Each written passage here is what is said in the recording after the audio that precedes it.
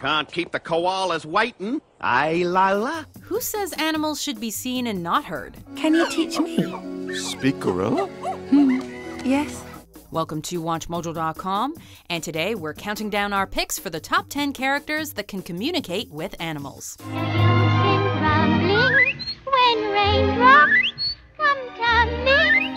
For this list, we've chosen characters from all types of popular media that can talk with animals. Through books, comics, movies, and TV shows, zoolingualism has become a common fantasy trope, and one that is often attached to heroic protagonists. We've made sure that the characters exhibit a distinct understanding of certain or all animal communication here, and that their ability to talk with and or understand the reactions of animals must be important to their characters. Also, it should go without saying, but the characters can't be animals themselves. We're talking. Yay! Eliza and Darwin are back! The good old team from a few minutes ago! Number 10. Bubbles, the Powerpuff Girls. Okay, now just tell 'em what you told me. She's talking to squirrels again. Made of sugar, spice, and everything nice, the Powerpuff Girls are a team of superpowered girls in the eponymous TV series. The sugar aspect of this trio is Bubbles, who is a sweet, sensitive, and unassumingly powerful heroine. Ask him if he knows who did this. One of her main abilities is the understanding of animals, which she can use to her advantage when fighting a multitude of deranged, disturbing, and sometimes androgynous villains.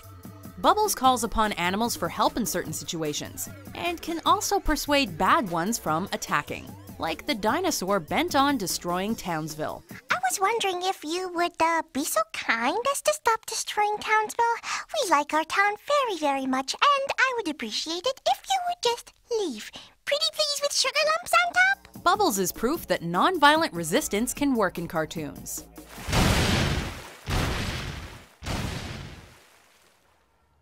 Thank you. Number 9. Miki Saegusa, the Godzilla franchise. Let me see things through your eyes. Concentrate your attention, and you can do it. Though not as legendary as Godzilla's Showa period that began in the 1950s, the Heisei period of the 80s and 90s gave us such classics as Godzilla vs. Mothra and Godzilla vs. Biollante, both of which contain a legendary female character.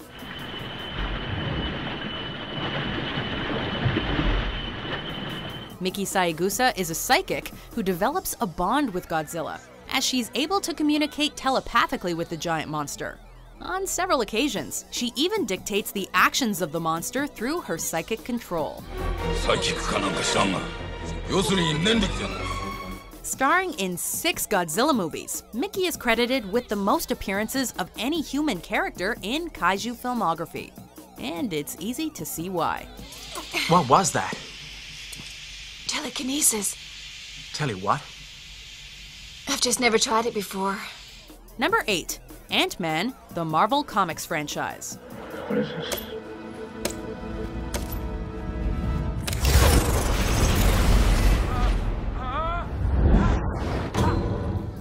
For over half a century, Ant-Man has been a fixture in the Marvel comic book universe.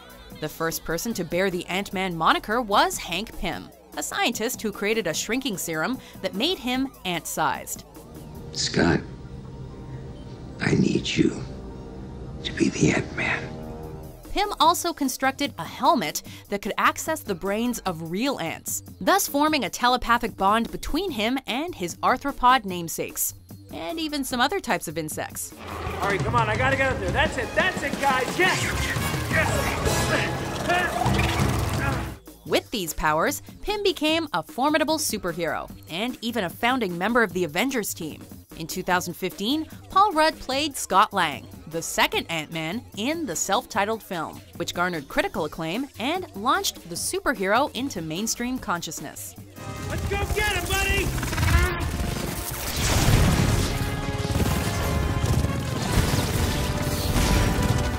Number 7.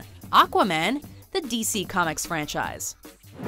My son's story begins in the ocean, a place full of secrets. Aquaman made a literal splash during the golden age of DC Comics. His backstory is complicated, and his personas are varied, but his ocean derived superpowers remain constant. His best known power, however, is his telepathic communication with sea life. Yeah? Hey, uh, can you uh, grab me another beer? Aquaman can manipulate underwater animals from dolphins to sharks to sea turtles, and use them for his heroic exploits. Aquaman's fishy ability has appeared in thousands of comics, dozens of TV shows, and movies. You're lucky you're not doing that over here, in the ocean, or else, or, or I would stop you. Because his powers are limited to the ocean, Aquaman has often been the subject of parody for his apparent helplessness on land. But if you're an underwater criminal, look out. Aquaman, swift and powerful monarch of the oceans, with ability to summon and command all creatures of the deep. Number 6. Harry Potter, the Harry Potter franchise. Can you hear me?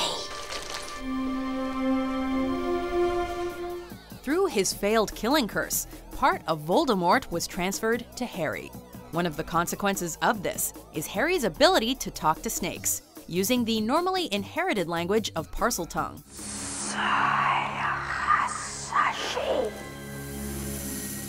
Though he'd unknowingly used this power as a young boy, it was during a duel with Draco Malfoy that his Parseltongue was revealed to a group of his fellow Hogwarts students.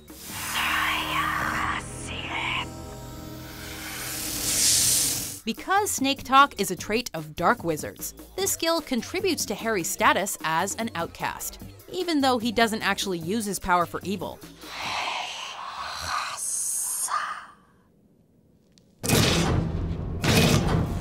More a curse than a blessing in some ways, this is another obstacle for Harry to face on his way to fulfilling the famed prophecy. Harry, say something in Parseltongue.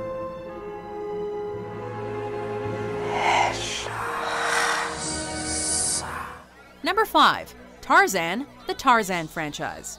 Tarzan, what are you doing? Why am I so different?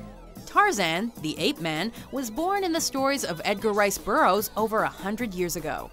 As a British child orphaned and marooned on the African coast, Tarzan was adopted by apes, which imbued him with the language and knowledge of the turbulent jungle. He became the archetypal wild man, swinging from vines in a loincloth, yelling his distinct call, and rescuing Jane, his damsel in distress, from human and non human adversaries. Higo! Higo!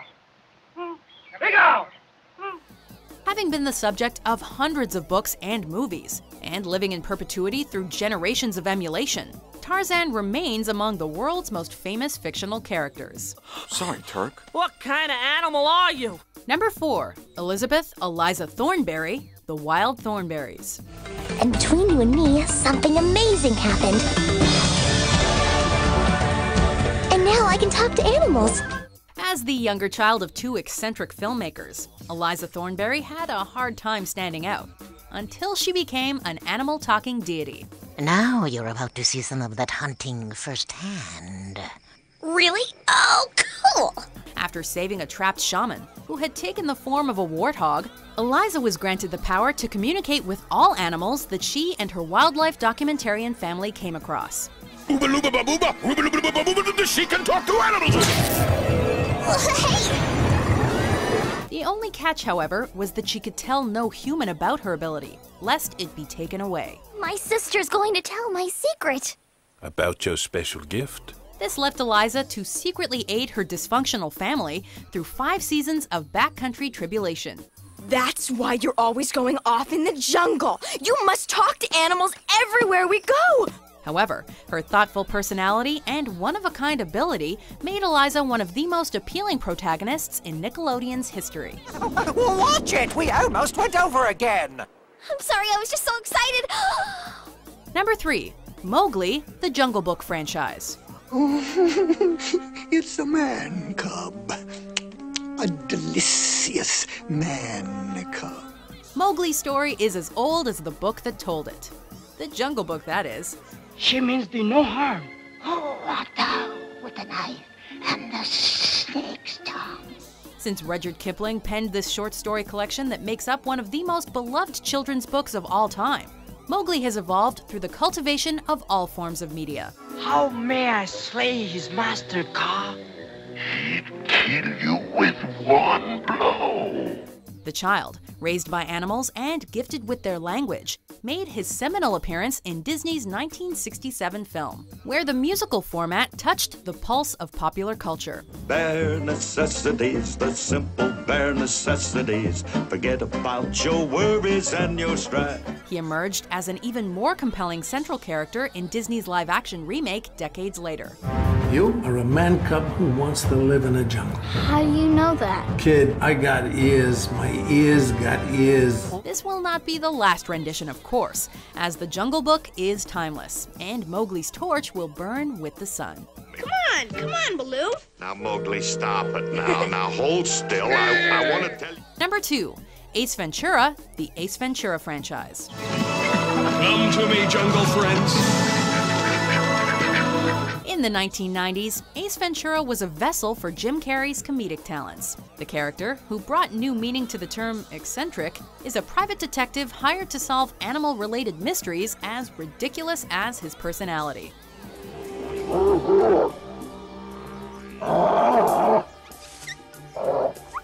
Ace has a sixth sense for animals, which includes communication with many different species. In fact, he can query and sometimes enlist them to help solve cases, which makes Ace the perfect, albeit probably the only pet detective. Hungry fella?